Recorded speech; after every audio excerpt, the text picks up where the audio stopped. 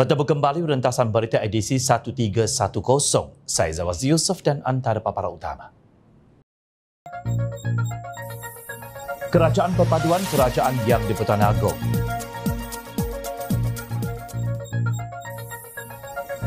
Tiris lepas tebuk atap.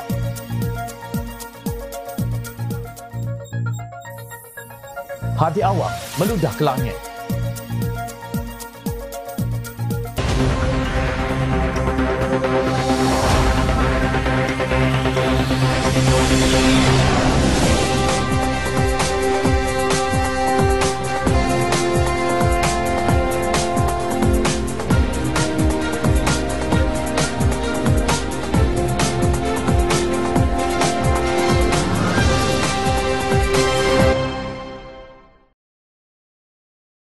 Assalamualaikum dan salam sejahtera. Yang di-Pertuan Agong Al-Sultan Abdullah Ayatuddin Al-Mustafa Billah Shah dalam titah ucapan perasmian mesyuarat pertama penggal kedua Parlimen ke-15 mengajak semua pihak bersama berlapang dada dengan hati yang terbuka untuk menerima dan menghormati keputusan pilihan raya pada 19 November lalu. Sekalung tahniah buat Yang Amat Berhormat Datuk Seri Anwar Ibrahim, Ahli Parlimen Tambun yang telah dilantik oleh Beta sebagai Perdana Menteri Malaysia yang ke-10 serta kepada seluruh barisan Jemaah Menteri Kerajaan Perpaduan. Syabas juga kepada Mamanda Perdana Menteri yang telah membuktikan keabsahan melalui usul undi percaya di Dewan Yang Mulia ini pada 19 Disember 2022 yang lalu. Pada kesempatan ini juga Beta ingin merakamkan ucapan terima kasih kepada Yang Berhormat Datuk Seri Ismail Sabri bin Yaakob, Ahli Parlimen Bera di atas segala jasa dan sumbangan bakti beliau menerajui negara sebagai Perdana Menteri ke-9. Demikian mukadimah titah ucapan yang di-Pertuan Agong. Sekejap, mana dia nama Perdana Menteri ke-8 yang juga pengerusi Perikatan Nasional Tan Sri Mahyadin Mak Yassin dalam titah penghargaan baginda? Ke mana perginya nama pemimpin parti yang kononnya juara Melayu Islam itu? Kenapa namanya tertinggal atau ditinggalkan. Sebaliknya, titah ucapan yang di Pertuan Agong berkisar tentang keperluan untuk mengekalkan keharmonian kaum dan kestabilan negara menerusi kerajaan perpaduan selain aspek berkait dengan dasar dan strategi belanjawan yang akan dibahaskan di Dewan Rakyat. Demi mengelakkan gejala pelampau daripada berterusan, baginda menyarankan formula perpaduan antar parti di negara ini apabila tiada parti politik atau gabungan dominan yang memperolehi majoriti muda. Bagi mencapai hasrat tersebut, PT telah membuka seluas-luasnya ruang kepada ahli-ahli yang berhormat untuk bermuafakat dan mencari bers, mencari kesepakatan atas prinsip perpaduan demi untuk masa hadapan negara. Setelah mengambil, mengambil pendekatan yang ditetapkan oleh Perlembagaan Persekutuan pada 24 November 2022, Beta telah berkenan untuk melantik Yang Amat Berhormat Datuk Seri Anwar bin Ibrahim sebagai Perdana Menteri Malaysia yang ke-10. Secara ikhlas, Beta berharap Perdana Menteri yang ke-10 ini adalah yang terakhir buat Beta.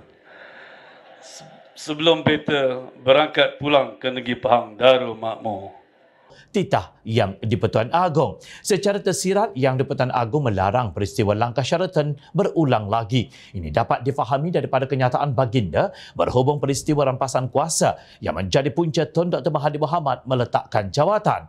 Peristiwa itu didalangi oleh Presiden Bersatu Tan Sri Mahyadin Mak Yassin serta sekutunya bekas Timbalan Presiden Keadilan Datuk Seri Muhammad Azmin Ali, Presiden PAS Tan Sri Abdul Hadi Awang dan beberapa ahli Parlimen UMNO BN pada hujung Februari 2020. Pada pengamatan beta jika episod yang membawa kepada peletakan jawatan Perdana Menteri ketujuh tidak berlaku, nescaya rantaian kemelut politik yang berlarutan sehingga pada pilihan raya umum ke-15 juga akan dapat dielakkan titah baginda. Menurut baginda kemelut politik yang membelenggu negara hampir empat tahun lamanya itu boleh dielakkan jika sekiranya ahli politik negara bersedia untuk mengenepikan perbezaan dan bersatu padu semata-mata atas dasar untuk menjaga kepentingan rakyat. Titah baginda sejak negara mencapai kemerdekaan 66 tahun yang lalu, kita telah menerima kemajmukan dan kepelbagaian yang wujud sebagai kekuatan utama negara. Jika kepelbagaian, kemajmukan dan kekusutan politik berterusan menjadi punca perbalahan dan perpecahan, Better merasa khawatir suasana damai dan kemajuan yang didambakan tidak akan menjadi kenyataan buat selama-lamanya. Titah Al-Sultan Abdullah. Sejarah mencatatkan bahawa pemimpin Parti Bersatu termasuk Perikatan Nasional dan UMNO BN selain Pakatan Harapan dipanggil menghadap baginda. Namun, dengan Angko Mahyadi menolak cadangan untuk membentuk kerajaan perpaduan. Bagaimanapun setelah baginda membentuk kerajaan perpaduan, maka berteriaklah Abdul Hadi Awang memperlekeh usaha bijaksana tuanku. Kononnya ia kerajaan luar tabi'i. Hari ini tanpa malu dan segan, Ahli Parlimen Kapa Dr. Halimah Ali berkata, PAS mengutamakan kematangan semua pihak dan tindakan yang membawa kesejahteraan kehidupan seluruh masyarakat. Ini juga membawa pendekatan budaya politik Islam selari dengan slogan perjuangan PAS iaitu budaya politik matang dan sejahtera BPMS. Oleh demikian, semua pihak seharusnya menumpukan sepenuh perhatian kepada solusi untuk mengatasi masalah rakyat yang dihadapi katanya, seperti dipetik Harakah Daily. Beliau dilaporkan berkata semua pihak perlu menghormat-menghormati di antara satu sama lain agar mewujudkan suasana harmoni seperti yang dititahkan oleh baginda.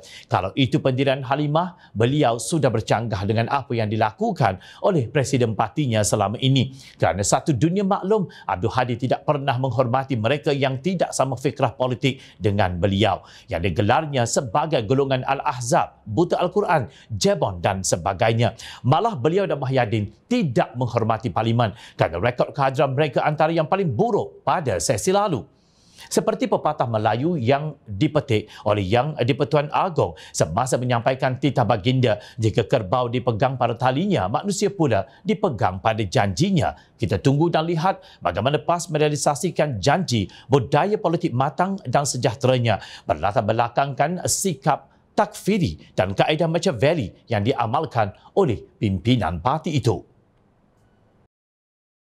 Hari ini, Selasa, ialah kali pertama Perdana Menteri Malaysia Datuk Seri Anwar Ibrahim mengadakan sesi soal jawab bersama beliau di Dewan Rakyat. Pelbagai soalan boleh ditanya sama ada oleh anggota Dewan daripada pihak kerajaan maupun pembangkang. Soalan panas yang dijangka ialah berhubung dengan siasatan Suruhanjaya Pencegahan Rasa Malaysia SPRM terhadap skandal keuangan oleh pemimpin parti politik. Perdana Menteri mengakui terdapat keterisan yang berlaku pada era pentadbiran UMNO Barisan Nasional. Tetapi ini tidak bermakna keterisan tidak berlaku sewaktu pentadbiran Perikatan Nasional pada tahun 2020 hingga 2021. Ada kebenaran di sebalik kenyataan bahawa berlaku ketirisan sewaktu pentadbiran BN. Perikatan Nasional pun ada banyak ketirisan katanya. Antara yang sedang dalam siasatan SPRM ialah dana wibawa dan projek penempatan banjir secara rundingan terus. Ada siasatan yang dilakukan oleh jabatan berkaitan dan tindakan undang-undang akan diambil oleh pejabat program negara ujar Anwar ketika menjawab soalan susulan daripada Ahli Parlimen Perikatan Nasional Putrajaya Datuk Muhammad Razi Majidin. Projek penebatan banjir dikendali ketika itu oleh Kementerian Alam Sekitar dan Air yang diterajui Timbalan Presiden PAS Datuk Seri Tuan Ibrahim Tuan Man. Muhammad Razi turut bertanya sama ada kedudukan Anwar sebagai Perdana Menteri dan Menteri Keuangan akan membuka peluang untuk salah guna kuasa berlaku seperti mana ketika pentadbiran negara di bawah pimpinan Datuk Seri Najib Razak yang mengakibatkan skandal 1MDB. Selain daripada itu juga, adakah Yang Amat Berhormat Perdana Menteri bersetuju bahawa tindakan memegang jawatan uh, Menteri Keuangan pada masa yang sama memegang jawatan Perdana Menteri membuka ruang ke arah uh, terjadinya perkara seperti mana yang terjadi sebelum ini. Terima kasih. Anda berkata menjawab dua jawatan sekaligus tidak menyebabkan masalah. Soalnya soal sama ada kedudukan Perdana Menteri dan Menteri Keuangan itu menjadi masalah, saya nak sebut di sini dalam sejarah kita, sama ada digabungkan atau tidak bukan masalah. Masalahnya ialah guna kedudukan untuk rompak harta rakyat jawab beliau. Tiada soalan dibangkitkan oleh Ketua Parlimen Kabinet Bayangan Ahli Parlimen Perikatan Nasional Pagoh, Tan Sri Mahyadi Mak Yassin. Begitu juga tiada soalan daripada timbalannya Tan Sri Abdul Hadi Awang yang dilihat gemar berbicara seorang diri di Facebook. Bagaimanapun Anwar memberi jaminan berita baik untuk rakyat akan dapat didengar tidak lama lagi berkaitan dengan penyiasatan yang dibuat terhadap salah laku. Saya percaya jika tuan-tuan bersabar, mungkin dalam masa terdekat kita akan dapat berita baik, kata Anwar. Anwar.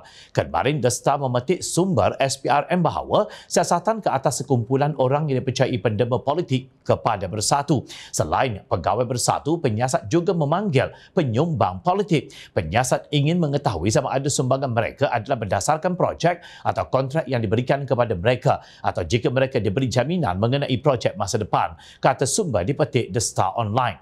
Bagaimanapun, tidak dapat dipastikan berapa ramai penyumbang politik bersatu telah dipanggil untuk kenyataan mereka direkodkan. Laporan sebelum ini menyatakan Bersatu menerima sumbangan daripada kira-kira 10 kontraktor yang dikatakan telah dianugerahkan pelbagai projek awam ketika parti itu berada dalam kerajaan. Sumber yang sama berkata tidak mungkin akaun yang dibekukan itu akan dilepaskan dalam masa terdekat walaupun telah menerima permintaan daripada Bersatu kerana siasatan masih diteruskan menurut laporan. Pembekuan akaun Bersatu diumumkan oleh Ketua Pesuruhjaya SPRM Tan Sri Azam Baki pada 1 Februari lalu. Siasatan ke atas akaun Parti Bersatu dijalankan di bawah Akta SPRM 2009 dan Akta Pencegahan Pengubahan Wang Haram, Pencegahan Pembiayaan Keganasan dan Hasil daripada Aktiviti Haram 2001. Terdahulu Perdana Menteri menjawab soalan wartawan berhubung tuduhan penglibatan Mahyadin yang didakwa memberikan kontrak lumayan kepada menantu. Menurut Anwar, Mahyadin tidak boleh terlalu tergesa-gesa mendakwa bahawa siasatan berhubung dakwaan beliau terlibat dalam pemberian kontrak sistem imigresen bersepadu nasional NIISE kepada syarikat yang dikaitkan dengan penantunya semasa beliau menjadi Perdana Menteri berniat jahat. Alasan penyiasatan adalah untuk menghalang sesiapa sahaja mulai sekarang sama ada Perdana Menteri, Menteri Keuangan atau Menteri daripada menganggap bahawa ia adalah tempat untuk memperkayakan ahli keluarga. Berniat jahat atau tidak, tunggu laporan. Sejauh mana dia terlibat, saya tidak tahu tetapi siasatan sedang dijalankan. Bedas Anwar seperti dilaporkan di agemarkets.com. Beberapa media melaporkan bahawa projek NIISE yang bernilai 1.16 bilion ringgit itu kini sudah menjadi projek sakit. Sebelum itu Mahyadin dalam satu kenyataan menafikan beliau terlibat dalam pemberian kontrak NIISE kepada syarikat Iris Corporation Berhad yang dikaitkan dengan menantunya. Saya menafikan sekeras-kerasnya tuduhan itu. Ia adalah satu fitnah jahat yang sengaja direka untuk mencala maruah saya dan keluarga, kata Mahyadin dalam kenyataan di Facebook. Kalau tak ada angin, takkanlah pokok bergoyang. Tegas Anwar pula. Pada hari yang sama, pembukaan mesyuarat pertama penggal kedua Parlimen ke-15 yang dirasmikan oleh Yang di-Pertuan Agong Al-Sultan Abdullah Riayatuddin Al-Mustafa Billah Shah Presiden PAS Tan Sri Abdul Hadi Awang menulis dalam Facebook beliau yang bertajuk Kerajaan Campuran Pakatan Harapan yang Tidak Madani. Dalam rencananya, Abdul Hadi mencemuh Malaysia Madani yang dianjurkan oleh Perdana Menteri Datuk Seri Anwar Ibrahim dan Kerajaan Perpaduan yang dicetuskan konsepnya oleh Yang di-Pertuan Agong. Mereka tidak menjadikan Melayu Muslim yang berintegriti untuk mendominasi penduduk negara ini sebagai majoriti berkonsepkan asas yang disebutkan dalam hadis sebelum ini. Di samping dinamakan dinamakan kerajaan campuran itu dengan kerajaan perpaduan walaupun penubuhannya menipu rakyat dan seluruh dunia. Meletakkan jenama kerajaan perpaduan adalah menyalahi istilah ilmu politik iaitu kerajaan yang tiada pembangkang atau pembangkang yang terlalu kecil laksana nyamuk ujarnya. Abdul Hadi juga mengungkit keahlian kerajaan semasa dengan pelbagai gelaran walaupun tidak punya keberanian wai masa kelumit pun untuk menyebut nama-nama individu yang dimaksudkannya. Selain itu kerajaan campuran ini bercampur aduk aduk pula dengan pelbagai ideologi seperti kalangan liberal, kuat ekstrim berhaluan kiri maupun kanan serta kalangan oportunis. Malah mereka disertai oleh kalangan yang dipertikai integritinya seperti bekas banduan, kluster mahkamah, kronisma dan nepotisme yang menjadi gejala dalam kerajaannya, dakwanya. Selain itu, Abdul Hadi juga memperlekeh kebijaksanaan rakyat memilih pemimpin yang serba boleh menerusi cebuhannya. Calon pemimpinnya berpindah randah tempat bertanding sehingga terpaksa bergantung kepada sokongan bukan Islam yang tidak mendominasi keseluruhan penduduk tegasnya. Abdul Hadi memetik firman Allah Subhanahu Wa Taala dalam surah Al-Mulk ayat 1 dan 2 sebagai sandarannya untuk mentohmah bahawa pimpinan negara sekarang hanyalah dalam kalangan mereka yang hanya mahu pangkat dan jawatan semata-mata. Terjemahan ayat 1 dan 2 dalam surah Al-Mulk berbunyi begini. Maha suci Allah yang dalam tangannya atau genggaman kekuasaannya sahaja berada segala kerajaan dan dia maha kuasa atas segala sesuatu. Dialah Tuhan yang menjadikan mati dan hidup supaya dia menguji kamu. Siapakah antara kamu yang lebih baik amalnya dan dia maha perkasa lagi maha pengampun. Dalam ulasannya, Abdul Hadi berkata di sini menunjukkan bahawa mengambil alih kerajaan bukan sekadar mengambil tempat bagi merebut jawatan dengan keistimewaannya. Namun kewajipan yang sepatutnya ialah menunaikan amanah Allah Subhanahu Wa Taala bagi melakukan tashih, yakni pembetulan terhadap kerosakan yang berlaku, bukan berebut jawatan dan mengekalkan kerosakan atau menambah keburukannya. Demikian bekas Duta Khas Perdana Menteri bertaraf Menteri ke Timur Tengah yang makan gaji buta tiba-tiba lupa sehingga meludah ke langit. Adakah Abdul Hadi sudah menunaikan amanah Allah Subhanahu Wa Taala apabila tidak membawa apa-apa hasil kepada negara setelah berjawatan duta khas? Untuk pengetahuan anak-anak muda yang baru kenal politik tidak ada mana-mana peraturan dalam Suruhanjaya Pilihan Raya Malaysia SPR yang melarang seseorang calon untuk bertanding di mana-mana tempat pilihannya setelah memenuhi syarat. Malah tindakan ini menunjukkan pemimpin berkenaan bukan jago kampung yang hanya berani bersilat di kawasan sendiri. Istilah dalam sains tidak jumut atau kaku misalnya, konsep demokrasi ditarifkan dan dilaksanakan dengan pelbagai pendekatan oleh pemimpin dunia ada demokrasi liberal, demokrasi terpimpin, demokrasi berparlimen, demokrasi berpresiden, demokrasi raja berperlembagaan dan lain-lain. Tidak ada demokrasi tulen. Begitu juga dengan istilah kerajaan perpaduan, bagaimana ia dibina terpulang kepada pembinanya, memandangkan majoriti parti-parti politik di negara ini menyertainya bagi mewakili kelompok mereka daripada yang besar sehingga yang kecil, pembinaan kerajaan perpaduan sudah melengkapi keperluan. Ini kerana perpaduan tidak bermaksud kaum sahaja tetapi juga ideologi atau kepentingan politik. Aspek ini terangkum dalam titah Yang di-Pertuan Agong yang menyentuh perkataan perpaduan sebanyak 14 kali, kerajaan beta 15 kali dan madani 3 kali. Beta menyambut baik pemafakatan yang tercapai di kalangan pemimpin parti-parti kerajaan perpaduan Malaysia yang selari dengan cetusan hasrat murni Beta untuk membentuk sebuah kerajaan yang stabil dan utuh. Dengan demikian, kerajaan beta boleh menumpukan daya usaha untuk memperkuatkan tekad bagi menjamin kestabilan politik dan menjana pertumbuhan ekonomi yang akan menjamin kesejahteraan rakyat beta titah baginda. Mengenai Malaysia Madani, baginda bertitah beta menghargai pengenalan inisiatif negara madani yang merangkumi aspek-aspek kemampanan, kesejahteraan, daya cipta, hormat, keyakinan, ihsan dan juga rahmah besar harapan beta agar prinsip-prinsip tersebut dapat diterjemahkan dengan baik dalam kerangka untuk mencipta lonjakan buat negara. Terima kasih Abdul Hadi kerana berkongsi ayat 5 dalam surah Al-Qasas yang menyatakan janji Allah Subhanahu Wa Taala yang akan menolong rakyat yang diperbodohkan dan kami hendak memberikan kurnia kepada orang-orang yang lemah yakni tertindas dan diperbodohkan di bumi itu dan hendak menjadikan mereka pemimpin dan menjadikan mereka orang-orang yang mewarisi bumi. Sesungguhnya janji Allah Subhanahu Wa Taala itu benar. Rakyat Malaysia yang sekian lama cuba diperbodohkan oleh kerajaan Tebu Atap mendapat kurnia Allah Subhanahu Wa Taala apabila pengerusi Perikatan Nasional Tan Sri Mahyadi Mak Yassin tidak diperkenan oleh Yang di-Pertuan Agong untuk menjadi Perdana Menteri ke-10.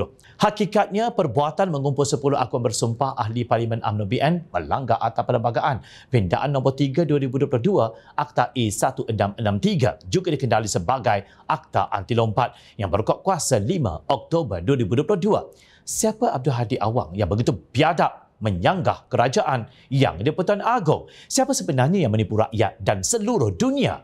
Ingat, rakyat sentiasa memerhati.